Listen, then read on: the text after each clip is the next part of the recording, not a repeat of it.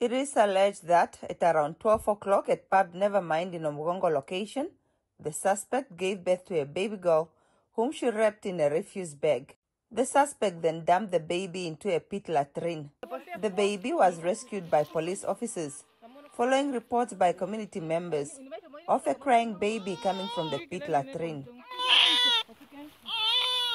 Omusati Regional Commander Commissioner Titus Shikongo says the baby girl is currently being cared for at the Oshikuku Roman Catholic Hospital. She is reported to be in good health and appears not to have sustained any serious injuries. The suspect is employed at a Chinese shop in Ogongo. The suspect has not yet appeared in court as she is still in hospital but under police custody and may appear only tomorrow. Another alternative is to present the docket in her absentia. Ndapanda Shuya, NBC News. ou tapi.